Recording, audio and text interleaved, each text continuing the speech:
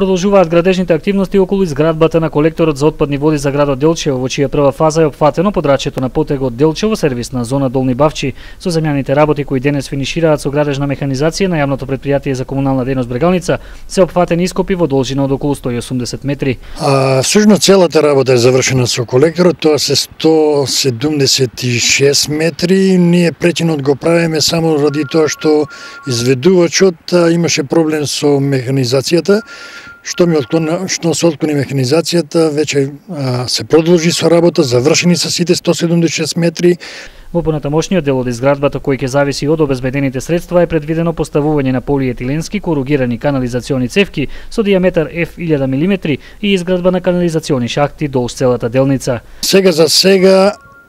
со се искористени сите овие милион денара добиени од а, источноплански регион. Ако успееме да, да обезбедиме цевти, треба овој колектор да биде продолжен а, и понатака, значи нека да остануваат оште